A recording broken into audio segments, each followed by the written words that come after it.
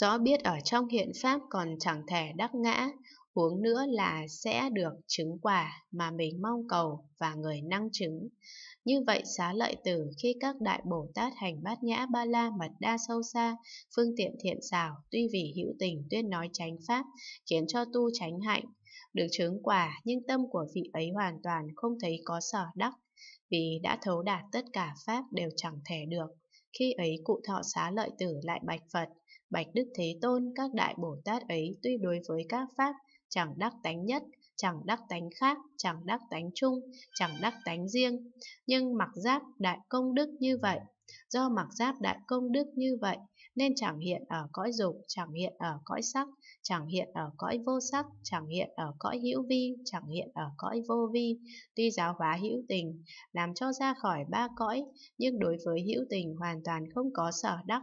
cũng lại chẳng thấy có hữu tình được tạo ra. Do chẳng thấy có hữu tình được tạo ra, nên không buộc không mở. Do không buộc không mở, nên không nhiễm không tịnh. Do không nhiễm không tịnh, nên các cõi sai khác đều chẳng rõ biết. Do các cõi sai khác đều chẳng rõ biết nên không có nghiệp không có phiền não, do không nghiệp không phiền não nên không có quả dị thục. Đã không có quả dị thục, lẽ nào có ngã và hữu tình lưu truyền các đường, các loại sai khác hiện ở ba cõi. Phật bảo, này xá lợi tử, đúng vậy, đúng vậy, đúng như lời ông nói. Này xá lợi tử, nếu các hữu tình trước có sau không, thì Bồ Tát chư Phật đều có nhầm lẫn, nếu các cõi sanh tử trước có sau không thì Bồ Tát chư Phật cũng có nhầm lẫn, lý trước không sau có cũng chẳng đúng. Cho nên này xá lợi tử, dù Phật có xuất hiện ở đời hay không xuất hiện ở đời, thì Pháp tướng thường trụ, chân như Pháp giới tánh chẳng hư vọng, chọn không thay đổi. Vì tất cả Pháp, Pháp tánh, Pháp giới, Pháp trụ, Pháp định, chân như thật tế, tánh chẳng hư vọng, tánh chẳng đổi khác, đều như hư không. Trong ấy còn không có ngã vân vân có thể đắc, huống nữa là có các pháp như sắc vân vân có thể đắc, đã không có các pháp như sắc vân vân có thể đắc, thì lẽ nào có các cõi sanh tử? Các cõi sanh tử đã chẳng thể đắc, thì lẽ nào có sự thành thục hữu tình khiến cho họ được giải thoát, chỉ dựa vào thế tục mà giả nói là có. Này xá lợi tử, từ Phật quá khứ, các đại Bồ Tát nghe tất cả Pháp tự tánh đều không, nhưng chỉ các hữu tình, thì điên đảo chấp trước,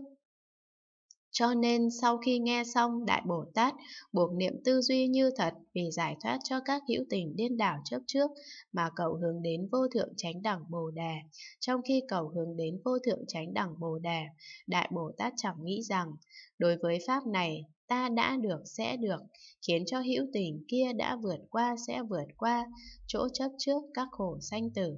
Này xá lợi tử, vì giải thoát cho các hữu tình thoát khỏi sự điên đảo chấp trước, các đại Bồ Tát ấy mặc áo giáp công đức đại thệ trang nghiêm, dũng mãnh tinh cần chân chánh, không luyến ái, không thối bỏ. Vô thượng chánh đẳng Bồ Đề, không còn do dự đối với vô thượng chánh đẳng Bồ Đề, nghĩa là ta sẽ chứng được hay không chứng được đây, chỉ chánh niệm rằng ta nhất định sẽ chứng vô thượng chánh đẳng Bồ Đề mà ta mong cầu, làm lợi ích chân thật cho các hữu tình, nghĩa là làm cho họ thoát khỏi sự mê lầm điên đảo, thoát khỏi sự luân hồi các cõi, thọ khổ sanh tử. Này xá lợi tử, các đại Bồ Tát, tuy cõi sự mê lầm điên đảo cho các hữu tình, thoát khỏi các cõi sanh tử nhưng không có sở đắc chỉ dựa vào thế tục mà nói có việc ấy. Này xá lợi tử như nhà ảo thuật hoặc đệ tử của ông ta dựa vào thuật đế võng, phạm thiên, hóa làm vô lượng trăm ngàn ức các loài hữu tình, lại hóa làm đủ loại thức ăn thượng diệu, bố thí cho hữu tình đều được no đủ. Làm việc ấy xong, viễn sư sướng rằng ta đã được phước tụ rộng lớn, này xá lợi tử, ý ông nghĩ sao huyễn sư ấy hoặc đệ tử của ông ta thật có làm cho hữu tình no đủ không? Xá lợi tử đáp, không, bạch thế tôn. Phật bảo, này xá lợi tử, các đại Bồ Tát cũng lại như vậy từ lúc mới phát tâm, vì muốn làm lợi ích cho các hữu tình nên tu hành bố thí ba la mật đa cho đến bát nhã ba la mật đa, an trụ nội không cho đến vô tính tự tính không, an trụ chân như cho đến cảnh giới chẳng thể nghĩ bàn, an trụ thành đế khổ tập diệt đạo, tu hành bốn niệm trụ cho đến tám chi thánh đạo, tu hành bốn tịnh lự, bốn vô lượng, bốn định vô sắc, tu hành tám giải thoát cho đến mười biến xứ, tu hành pháp môn giải thoát không vô tướng vô nguyện, tu hành cực hỷ địa cho đến pháp vân địa, tu hành tất cả môn đà la ni, môn tam ma địa, tu hành năm loại mắt, sáu phép thần thông, tu hành mười lực như lai cho đến mười tám pháp Phật bất cộng, tu hành 32 tướng tốt, 80 vẻ đẹp của bậc đại sĩ, tu hành pháp không quên mất, tánh luôn luôn xả, tu hành trí nhất thiết, trí đạo tướng, trí nhất thiết tướng, viên mãn đạo đại bồ đề của Bồ Tát, thành thục hữu tình, nghiêm tịnh cõi Phật.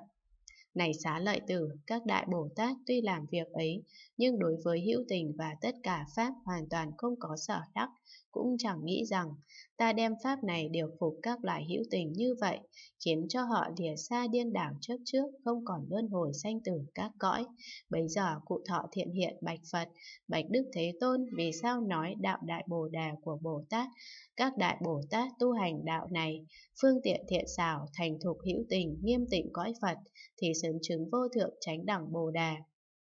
Phật bảo, này thiện hiện từ lúc mới phát tâm, các đại Bồ Tát đã hành bố thí ba la mật đa cho đến bát nhã ba la mật đa, đã hành nội không cho đến vô tính tự tính không, đã hành chân như cho đến cảnh giới chẳng thể nghĩ bàn, đã hành thánh đế khổ tập diệt đạo, đã hành bốn niệm trụ cho đến tám chi thánh đạo, đã hành bốn tịnh lự, bốn vô lượng, bốn định vô sắc, đã hành tám giải thoát cho đến mười biến xứ, đã hành pháp môn giải thoát không vô tướng vô nguyện, đã hành cực hỷ địa cho đến pháp vân địa, đã hành tất cả môn đà la ni, môn tam ma địa, đã hành năm loại mắt, sáu phép thần thông, đã hành mười lực như lai cho đến mười tám pháp Phật bất cộng, đã hành pháp không quên mất tánh luôn luôn xả, đã hành trí nhất thiết, trí đạo tướng, trí nhất thiết tướng và vô lượng vô biên Phật Pháp khác đều là đạo đại Bồ Đề của Bồ Tát. Các đại Bồ Tát tu hành đạo này phương tiện thiện xảo, thành thục hữu tình, nghiêm tịnh cõi Phật, sớm chứng vô thượng chánh đẳng Bồ Đề mà không có tưởng hữu tình, tưởng cõi Phật. Cụ thọ thiện hiện lại bạch Phật, bạch Đức Thế Tôn khi các đại Bồ Tát tu hành bố thí ba la mật đa, phương tiện thiện xảo, thành thục hữu tình như thế nào? Phật bảo, này thiện hiện có đại Bồ Tát khi tu hành bố thí ba la mật đa phương tiện thiện xảo, tự hành bố thí, cũng khuyên người khác hành bố thí, ân cần truyền trao dạy bảo cho người kia rằng, các thiện nam tử các ông chớ dính mắc vào sự bố thí, nếu dính mắc vào sự bố thí, thì sẽ lại thọ thân. Nếu thọ thân nữa thì do đây mà lưu truyền, sẽ thọ vô lượng khổ lớn dữ dội, này các thiện nam, trong thắng nghĩa đế hoàn toàn không có sự bố thí, cũng không có người thí, người thọ thí, vật thí và các quả thí. Các pháp như vậy đều bản tánh không, trong bản tánh không không có pháp để nắm giữ, tánh không của các pháp cũng chẳng thể nắm giữ. Như vậy thiện hiện, các đại Bồ Tát tu hành bố thí ba la mật đa, tuy đối với hữu tình, tự mình hành bố thí cũng khuyên người khác bố thí, nhưng đối với sự bố thí, người thí, người thọ thí, vật thí và quả thí đều chẳng thể đắc được. Bố thí ba la mật đa như vậy gọi là vô sở đắc ba la mật đa.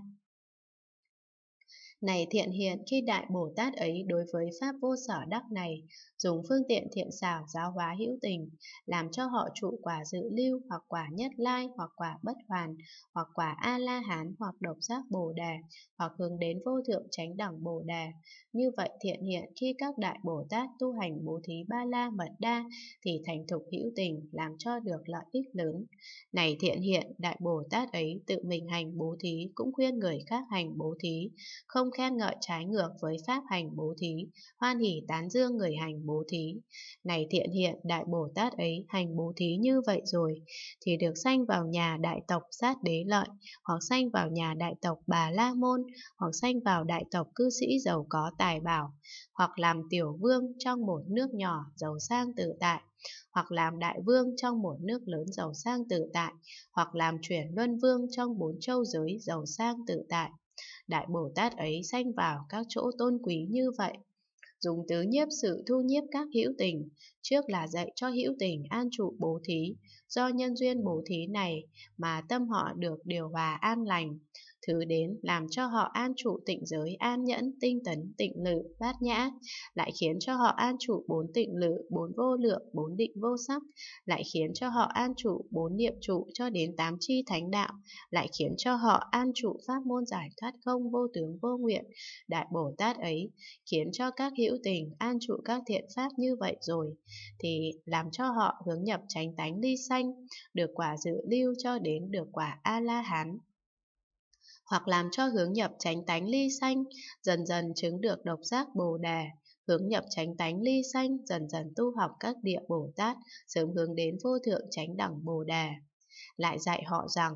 này các thiện nam, các ông nên phát nguyện sớm chứng vô thượng chánh đẳng Bồ Đề, làm các việc thủ thắng lợi ích cho các hữu tình, các loài hữu tình hư vọng phân biệt, chấp chặt các pháp hoàn toàn không có tự tánh, cho là có tự tánh. Do điên đảo hư vọng chấp có như vậy, cho nên các ông phải thường chuyên cần tinh tấn tự mình loại trừ điên đảo, cũng khuyên người khác đoạn trừ điên đảo, tự mình giải thoát sanh tử, cũng làm cho người khác thoát khỏi sanh tử, tự mình được lợi lớn, cũng làm cho người người khác được lợi lớn. Này thiện hiện, các đại Bồ Tát thường nên tu hành bố thí ba la mật đa như vậy, do tu bố thí ba la mật đa, nên từ lúc mới phát tâm cho đến khi thành tựu vô thượng chánh đẳng Bồ Đề, không đọa vào cõi ác, hay nơi biên địa bẩn tiện, vì muốn làm lợi ích cho các hữu tình nên đời đời sanh trong cõi người làm chuyển luân vương, giàu sang tự tại được nhiều lợi ích. Vì sao vậy? Vì tùy theo uy thế của nghiệp mà được quả như vậy, nghĩa là khi Bồ Tát đó làm chuyển luân vương, thấy kẻ ăn xin đến liền nghĩ rằng, vì việc gì mà ta lưu chuyển trong sanh tử, làm chuyển luân vương, trụ trong sanh tử lẽ nào ta chẳng làm lợi ích cho các hữu tình mà được quả thù thắng ấy, ngoài việc này không làm việc khác. Nghĩ vậy xong, Bồ Tát bảo kẻ ăn xin, ngươi cần gì ta sẽ thí cho, khi ngươi lấy vật như lấy vật của ta, ngươi chớ nghĩ là ta cho ngươi. Vì sao vậy? Vì ta nhờ các ngươi mà được lợi ích, được thọ thân đây đầy đủ tài vật, nên tài vật đây là do các ngươi mà có, các ngươi cứ tùy ý lấy dùng, hoặc đem cho người khác, chớ có nghi ngại. Khi Đại Bồ Tát thương xót các hữu tình như vậy, thì sẽ sớm được viên mãn vô duyên đại bi. Do đại bi đây sớm viên mãn, nên tuy luôn làm lợi ích cho vô lượng hữu tình, nhưng đối với hữu tình hoàn toàn không có sở đắc, cũng lại chẳng được quả thù thắng. Bồ Tát rõ biết như vậy nhưng vì thế tục mà nói làm đủ loại việc lợi ích cho các hữu tình, lại như thật biết các việc làm ấy đều như tiếng vang, tuy hiện tương tự có nhưng không chân thật. Do đây đối với Pháp Bồ Tát đều không nắm giữ. Này thiện hiện, các đại Bồ Tát thường nên tu hành bố thí ba la mật đa như vậy, đó là bố thí cho hữu tình, song hoàn toàn không nhớ nghĩ, Thậm chí đến cả xương thịt của mình Bồ Tát còn thí, huống nữa là không xả các tài vật bên ngoài. Bồ Tát bố thí các tài vật, nhiếp thọ hữu tình khiến cho sớm được giải thoát sanh giả bệnh chết. Cụ thọ thiện hiện bạch Phật, bạch Đức Thế Tôn những tài vật nào nhiếp thọ hữu tình khiến cho sớm được giải thoát sanh giả bệnh chết. Phật bảo,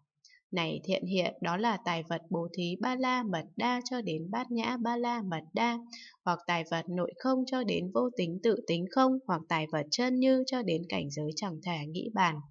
hoặc tài vật thánh đế khổ tập diệt đạo, hoặc tài vật bốn niệm trụ cho đến tám chi thánh đạo, hoặc tài vật bốn tịnh lự, bốn vô lượng, bốn định vô sắc, hoặc tài vật tám giải thoát cho đến mười biến xứ, hoặc tài vật pháp môn giải thoát không vô tướng vô nguyện, hoặc tài vật tịnh quán địa cho đến như lai địa, hoặc tài vật cực hỷ địa cho đến pháp vân địa, hoặc tài vật tất cả môn đà la ni, môn tam ma địa, hoặc tài vật năm loại mắt sáu phép thần thông, hoặc tài vật mười lực như lai cho đến mười tám pháp Phật bất cộng, hoặc tài vật pháp không quên mất tánh luôn luôn giả, hoặc tài vật trí nhất thiết, trí đạo tướng, trí nhất thiết tướng, hoặc tài vật quả dự lưu cho đến độc giác Bồ Đề, hoặc tài vật tất cả hạnh đại Bồ Tát, hoặc tài vật vô thượng chánh đẳng Bồ Đề của chư Phật. Này thiện hiện các tài vật thiện pháp như vậy nhiếp thọ hữu tình, làm cho sớm được giải thoát sanh già bệnh chết. Các đại Bồ Tát thường dùng các loại tài vật như vậy nhiếp thọ hữu tình làm cho sớm được giải thoát sanh già bệnh chết. Lại nữa thiện hiện, các đại Bồ Tát an trụ bố thí ba la mật đa, tự mình hành bố thí cũng khuyên các hữu tình bố thí xong, nếu thấy hữu tình hủy phạm tịnh giới, thì vô cùng thương xót dạy họ rằng này các ông nên thọ trì tịnh giới, ta sẽ thí cho các ông đủ loại tài vật khiến cho không còn thiếu thốn. Do các ông thiếu thốn các đồ dùng tài vật nên hủy phạm tịnh giới, làm các nghiệp ác. Ta sẽ cung cấp đầy đủ tài vật tùy theo chỗ các ông thiếu thốn. Các ông an trụ luật nghi giới rồi dần dần, làm cho khổ cạn mỏng. Nương vào pháp tam thừa, tùy theo pháp thích hợp với mình mà được thoát ly sanh tử, đạt đến chỗ an vui rốt ráo. Này thiện hiện, các đại Bồ Tát ấy an trụ ba la mật đa, tự thọ trì tịnh giới, cũng khuyên người khác thọ trì tịnh giới, không tán dương trái với pháp thọ trì tịnh giới, hoan hỷ tán thán người thọ trì tịnh giới. Như vậy thiện hiện, các đại Bồ Tát tu hành bố thí ba la mật đa, khuyên các hữu tình an trụ tịnh giới, giải thoát tất cả khổ sanh già bệnh chết, chứng được an lạc, lợi ích rốt ráo. Lại nữa thiện hiện, các đại Bồ Tát an trụ bố thí ba la mật đa, nếu thấy hữu tình oán giận lẫn nhau, thì nên thương xót dạy họ như vậy. Vì nhân duyên gì mà các ông oán giận lẫn nhau, nếu các ông vì sự thiếu thốn tương duyên lưu truyền, làm các điều ác thì nên theo ta mà đòi, ta sẽ giúp cho. Những tài vật gì các ông cần dùng ta đều thí cho, khiến cho không còn thiếu thốn, các ông không nên oán hận lẫn nhau mà nên tu an nhẫn phát khởi tâm từ. Này thiện hiện, Đại Bồ Tát ấy an trụ bố thí ba la mật đa, khuyên các hữu tình tu an nhẫn xong, vì muốn họ kiên cố nên dạy thêm như vậy. Nhân duyên sân hận hoàn toàn không cố định chắc thật, đều do tâm phân biệt hư vọng sanh ra vì tất cả pháp đều bản tánh không. Đối với việc không thật, lý duyên gì mà các ông vọng khỏi sân hận, sát hại lẫn nhau, các ông chớ duyên vào tâm phân biệt hư vọng mà oán hận lẫn nhau, tạo các ác nghiệp sẽ đọa địa ngục, bàng sanh, cõi quỷ và cõi ác khác, thọ các khổ não. Khổ ấy đớn đau, sắc bén dữ dội, cắt xé thân tâm thật khó nhẫn được. Các ông chớ chấp việc chẳng thật có mà oán hận nhau tạo nghiệp ác ấy. Do nghiệp ác đây mà thân người hạ liệt còn khó có được, huống nữa là được sanh lên trời, hoặc được gặp Phật nghe chánh pháp tu hành theo lời Phật dạy. Các ông nên biết thân người khó được, Phật xuất hiện ở đời khó gặp, sanh được niềm tin lại còn khó hơn. Nay các ông đã đủ các việc ấy, chớ vì sân nhuế mà làm mất thời giờ quý báu ấy. Nếu để mất thời giờ ấy thì chẳng thể tìm cầu được. Cho nên các ông đối với các hữu tình chứ khởi sân nhuế nên tu an nhẫn. Này thiện hiện, Đại Bồ Tát ấy an trụ bố thí ba la mật đa, tự mình hành an nhẫn cũng khuyên người khác hành an nhẫn, không tán dương trái với pháp hành an nhẫn, hoan hỷ tán thán người hành an nhẫn. Như vậy thiện hiện các đại Bồ Tát ấy an trụ bố thí ba la mật đa, khuyên các hữu tình tu hành an nhẫn, các loài hữu tình do sự truyền truyền ấy, dần dần hương vào tam thừa mà được giải thoát. Lại nữa thiện hiện, các đại Bồ Tát ấy an trụ bố thí ba la mật đa, thấy các hữu tình thân tâm biếng nhác mà vô cùng thương xót dạy bảo như vậy. Vì duyên gì mà các ông lại biếng nhác, không chuyên cần tinh tấn, tu các thiện pháp, những hữu tình kia thưa rằng chúng tôi thiếu thốn tài vật nên đối với các việc thiện chúng tôi chẳng chuyên cần tu tập được. Bồ Tát liền bảo ta có thể thí cho các ông những tài vật mà các ông thiếu thốn. Các ông nên chuyên cần tu tập các pháp bố thí tịnh giới an nhẫn vân vân. Các hữu tình được Bồ Tát ấy thí cho các tài vật không còn thiếu thốn, liền phát khỏi thân tâm tinh tấn tu các thiện pháp sớm được viên mãn. Do các thiện pháp được viên mãn, nên dần dần phát sanh các pháp vô lậu. Nhờ pháp vô lậu nên được quả dự lưu hoặc quả nhất lai hoặc quả bất hoàn hoặc quả A-la-hán hoặc độc giác Bồ Đề hoặc hướng nhập các địa Bồ Tát, dần dần chứng được vô thượng chánh đẳng Bồ Đề. Này thiện hiện các đại Bồ Tát ấy an trụ bố thí ba la mật đa, tự mình hành tinh tấn cũng khuyên người khác hành tinh tấn, không tán dương trái với pháp hành tinh tấn, hoan hỷ tán thán người hành tinh tấn. Như vậy thiện hiện, các đại Bồ Tát ấy an trụ bố thí ba la mật đa, làm cho các hữu tình sớm lìa xa biếng nhác, chuyên cần tu các thiện pháp, sớm được giải thoát, lại có khả năng làm lợi lạc cho các hữu tình. Lại nữa thiện hiện các đại Bồ Tát ấy an trụ bồ thí ba la mật đa, thấy các hữu tình, các căn tán loạn, quên mất chánh niệm thì rất thương xót dạy bảo như vậy.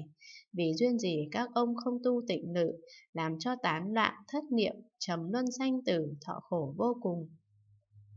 Những hữu tình kia đáp, chúng tôi thiếu thốn tài vật nên đối với tịnh lự chúng tôi không chuyên cần tu tập được.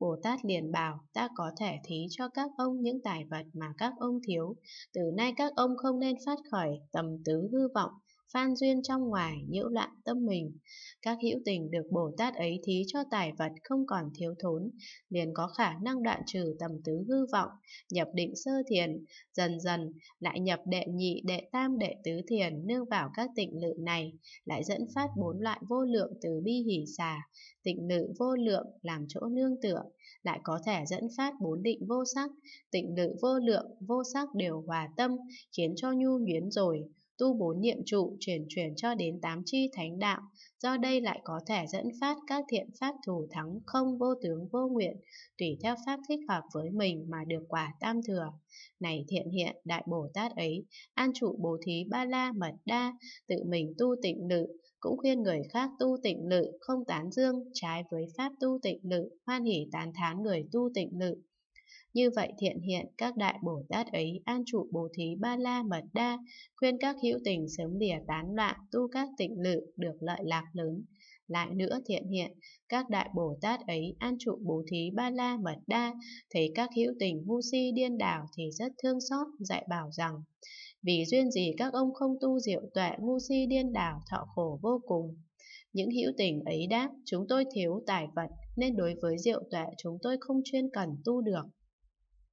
Bồ Tát liền bảo, tôi có thể thí cho các ông các vật mà các ông thiếu thốn, các ông nên nhận nó, trước tu bố thí tịnh giới an nhẫn tinh tấn tịnh lự được viên mãn, rồi quan sát kỹ thật tướng các pháp tu hành bát nhã ba la mật đa, nghĩa là khi ấy nên quan sát kỹ có một chút pháp nào có thể nắm giữ được chăng, ngã hữu tình cho đến chi giả kiến giả có thể nắm giữ được chăng, sắc cho đến thức có thể nắm giữ được chăng, sắc xứ cho đến ý xứ có thể nắm giữ được chăng, sắc xứ cho đến pháp xứ có thể nắm giữ được chăng, nhãn giới cho đến pháp giới giới có thể nắm giữ được chăng, sắc giới cho đến pháp giới có thể nắm giữ được chăng.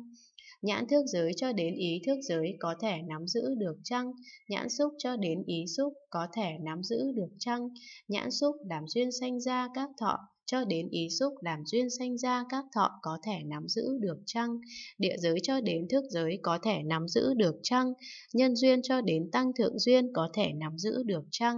Các pháp tử duyên sanh ra có thể nắm giữ được chăng? Vô minh cho đến lão tử có thể nắm giữ được chăng? Dục giới sắc giới vô sắc giới có thể nắm giữ được chăng? Bồ thí ba la mật đa cho đến bát nhã ba la mật đa có thể nắm giữ được chăng? Nội không cho đến vô tính tự tính không có thể nắm giữ được chăng? Chân như cho đến cảnh giới chẳng thể nghĩ bàn có thể nắm giữ được chăng? Thánh đế khổ tập diệt đạo có thể nắm giữ được chăng? Bốn niệm trụ cho đến tám chi thánh đạo có thể nắm giữ được chăng? Bốn tịnh lự, bốn vô lượng, bốn định vô sắc có thể nắm giữ được chăng? Tám giải thoát cho đến mười biến xứ có thể nắm giữ được chăng? Pháp môn giải thoát không vô tướng vô nguyện có thể nắm giữ được chăng?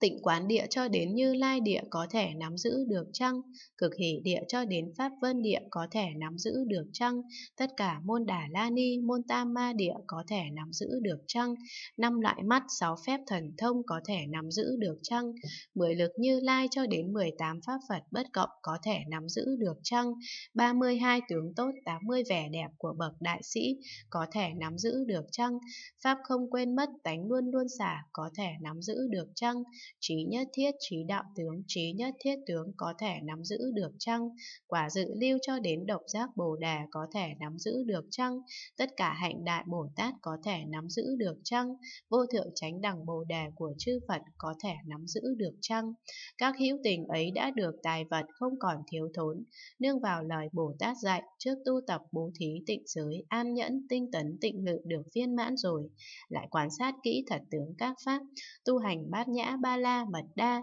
Khi quan sát kỹ các pháp như trước đã nói, thấu rõ thật tánh các pháp đều không thể đắc. Vì không thể đắc nên không chấp thủ, do không chấp thủ nên không thấy chút pháp nào, có sanh có diệt, có nhiễm có tịnh. Khi đối với các pháp, các hữu tình ấy không nắm giữ nên đối với tất cả chỗ không khỏi phân biệt, nghĩa là không phân biệt đây là địa ngục, bảng sanh, cõi quỷ, hoặc A tố lạc, hoặc trời, hoặc người. Cũng không phân biệt đây là trì giới, đây là phạm giới. Cũng không phân biệt đây là dị sanh, đây là bậc thánh, đây là dự lưu, đây là nhất lai, đây là bất hoàn, đây là A-la-hán, đây là độc giác, đây là Bồ Tát, đây là Phật, đây là hữu vi, đây là vô vi. Do hữu tình kia không phân biệt như vậy, nên theo pháp thích hợp với mình mà dần dần chứng được niết bàn của Tam Thừa rốt giáo an lạc. Này thiện hiện, các đại Bồ Tát ấy, an trụ bố thí ba la mật đa tự mình tu bát nhã, cũng khuyên người khác tu bát nhã, không khen ngợi trái với pháp tu bát nhã, hoan hỷ tán thán người tu bát nhã. Như vậy thiện hiện các đại Bồ Tát, an trụ bố thí ba la mật đa, khuyên các hữu tình, chuyên cần tu bát nhã, khiến cho được lợi ích an lạc rốt giáo. Lại nữa thiện hiện, các đại Bồ Tát an trụ bố thí ba la mật đa, tự mình hành bố thí ba la mật đa, cho đến bát nhã ba la mật đa, cũng khuyên người khác hành bố thí ba la mật đa cho đến bát nhã ba la mật đa rồi, lại thấy hữu tình luân hồi các cõi, thọ vô lượng khổ chưa được giải thoát, vì muốn làm cho họ thoát khỏi sanh tử khổ nên trước hết Bồ Tát dùng đủ loại tài vật để làm lợi ích, sau đó đem các pháp vô lậu xuất thế, phương tiện thiện xảo mà nhiếp hóa họ. Các hữu tình ấy được tài vật rồi không còn thiếu thốn, thân tâm quyết định mạnh mẽ có thể an trụ nội không cho đến vô tính tự tính không, cũng có thể an trụ trơn như cho đến cảnh giới chẳng thể nghĩ bàn, cũng có thể an trụ thánh đế khổ tập diệt đạo, cũng có thể tu bốn niệm trụ cho đến tám chi thánh đạo, cũng có thể tu bốn tịnh lự, bốn vô lượng, bốn định vô sắc, cũng có thể tu tám giải thoát cho đến mười biến xứ, cũng có thể tu pháp môn giải thoát không vô tướng vô nguyện, cũng có thể tu tịnh quán địa cho đến như lai địa, cũng có thể tu cực hỷ địa cho đến pháp vân địa, cũng có thể tu tất cả môn đả la ni, môn tam ma địa, cũng có thể tu năm loại mắt, sáu phép thần thông, cũng có thể tu mười lực như lai cho đến mười tám pháp Phật bất cộng, cũng có thể tu pháp không quên mất, tánh luôn luôn xả, cũng có thể tu trí nhất thiết, trí đạo tướng, trí nhất thiết tướng, cũng có thể tu vô lượng vô biên các Phật Pháp khác. Các hữu tình ấy do được các pháp vô lậu nhiếp thọ nên giải thoát sanh tử, chứng được niết bàn, an lạc cứu cánh. Này thiện hiện các đại Bồ Tát ấy an trụ bố thí ba la mật đa, tự mình hành đủ loại pháp vô lậu thủ thắng, cũng khuyên người khác hành đủ loại pháp vô lậu thủ thắng, không tán dương trái với pháp hành đủ loại pháp vô lậu thủ thắng, hoan hỷ tán thán người hành đủ loại pháp vô lậu thủ thắng. Như vậy thiện hiện, các đại Bồ Tát ấy an trụ bố thí ba la mật đa, dùng pháp vô lậu nhiếp thọ hữu tình khiến cho họ giải thoát các khổ sanh tử, chứng được niết bàn, thường vui rốt giáo, cũng có thể vì người khác làm lợi ích lớn. Lại nữa thiện hiện, các đại Bồ Tát an trụ bố thí ba la mật đa, thấy các hữu tình không có nơi nương tựa, thiếu thốn đủ điều, nhiều khổ não, điển sanh tâm thương yêu, với những lời an ủi, ta có thể vì các ngươi mà làm nơi nương tựa, khiến cho các ngươi thoát khỏi các việc thọ khổ. Với các vật cần dùng như đồ ăn thức uống, y phục, đồ nằm, xe cộ, nhà cửa, hương hoa, kỹ nhạc, đèn sáng, tài bảo người hầu và các loại tài vật cần dùng khác mà các ngươi cần. Các ngươi cứ tùy ý đòi chứ có nghi ngại, ta sẽ theo ý các ngươi mà cho tất cả, khiến cho các ngươi được lợi ích an lạc mãi mãi. Khi các ngươi nhận vật ta bố thí thì như nắm giữ vật của mình chớ có nghĩ tưởng khác. Vì sao vậy? Vì nhiều đời nhiều kiếp ta tích tụ được tài vật, được lợi lạc chỉ vì nhờ các ngươi. Nay các ngươi tứ